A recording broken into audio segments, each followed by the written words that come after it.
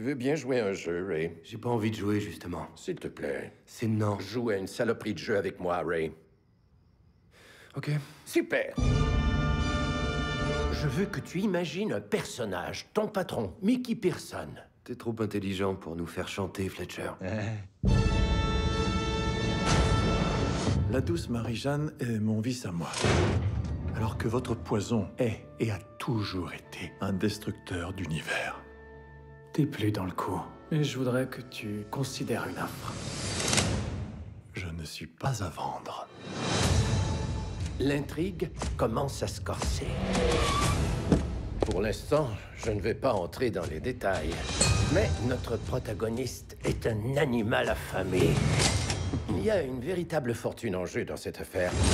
Notre antagoniste explose comme un feu d'artifice millénial et déclenche indirectement une guerre.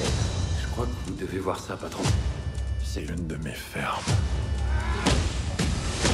Comment ils l'ont trouvé?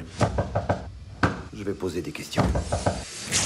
Son nom, c'est Fock, avec un P et un H. Ça sonne Fock. Pitié Calme-toi, on va te sortir de là. Allez.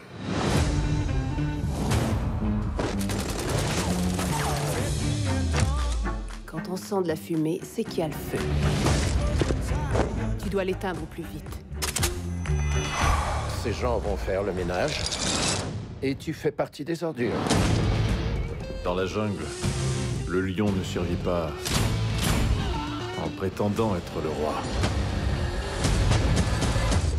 Mais en étant le roi. Brillant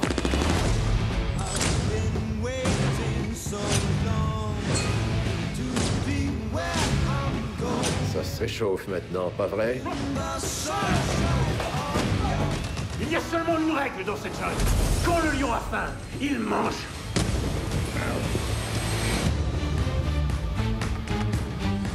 Un de ses associés a eu un accident.